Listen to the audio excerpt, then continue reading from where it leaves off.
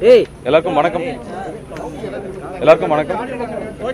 ரெண்டாயிரத்தி பதினஞ்சிலிருந்து ரெண்டாயிரத்தி பத்தொன்பது வரைக்கும் நடிகர் சங்கம் வரலாறுல மிக முக்கியமான ஆண்டுகள். உறுப்பினர்கள் கிடைச்ச நலத்திட்டங்கள் ஆகட்டும்.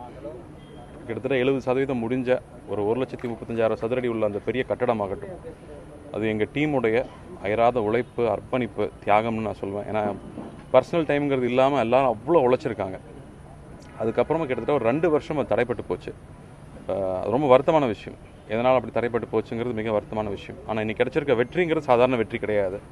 கிட்டத்தட்ட ரெண்டு வருஷம் சட்ட போராட்டத்துக்கு அப்புறமா கிடச்சிருக்கிற ஒரு வெற்றி. அண்டு இந்த சந்தர்ப்பம் மிக முக்கியமான சந்தர்ப்பம்.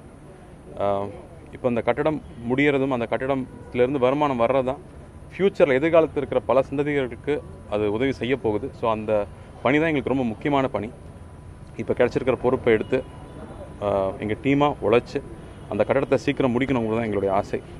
முக்கியமாக உறுப்பினர்களுக்கும் மக்களுக்கும் இந்த பெரிய வெற்றியை கொடுத்ததுக்கு என்னுடைய நன்றியும். வணக்கம்.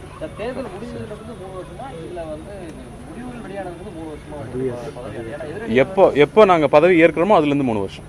பைலா படி அதுதான் ரூல்ஸ் எப்போ பதவி ஏற்கிறோமோ அதுலேருந்து மூணு வருஷம். ஸோ இன்னொரு மூணு வருஷம் எங்களுக்கு வந்து இந்த கட்டடத்தை முடிக்கிறதுக்கான டைம் கிடைச்சிருக்கு.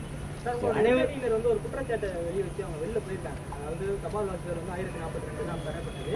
ஆனா இப்போ வந்து ஆயிரத்தி நூத்தி எண்பது சொல்றாங்க. நூத்தி முப்பத்தி எட்டு வாக்கு கூடுதலாக இருக்கு. பதிவான வாக்குகளோட அப்படின்னு சொல்லியிருக்காங்க. அதுக்கு எனக்கு கிளாரிஃபிகேஷனே தரணும் ஆனாலும் வாக்குப்பதிவு இல்லை இது இதுக்கான பதில் வந்து எலெக்ஷன் ஆஃபீஸர் தான் சொல்லணும்.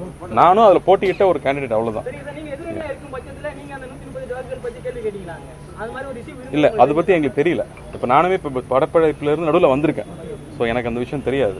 அப்படி எதுவாக இருந்தாலும் அதுக்கான கிளாரிஃபிகேஷன் எலெக்ஷன் ஆஃபீஸர் தான் சொல்லணும். அதுக்கு நாங்கள் யாருமே அதுக்கான பொறுப்பு கிடையாது. தேங்க்யூ